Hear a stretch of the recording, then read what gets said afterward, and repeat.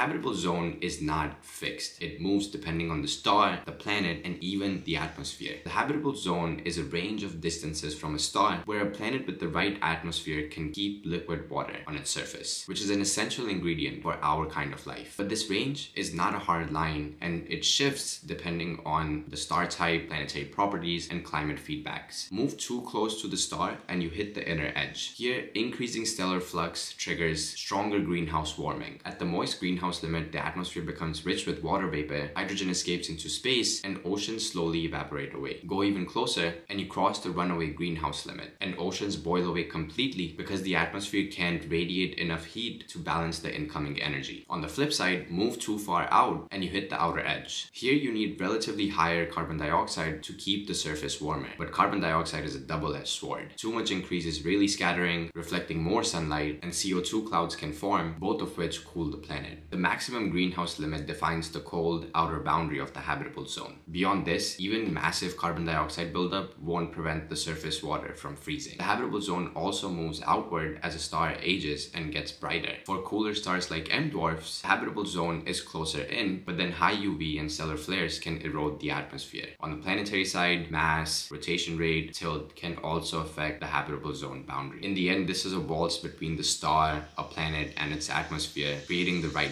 climate. Change one thing and the whole zone moves because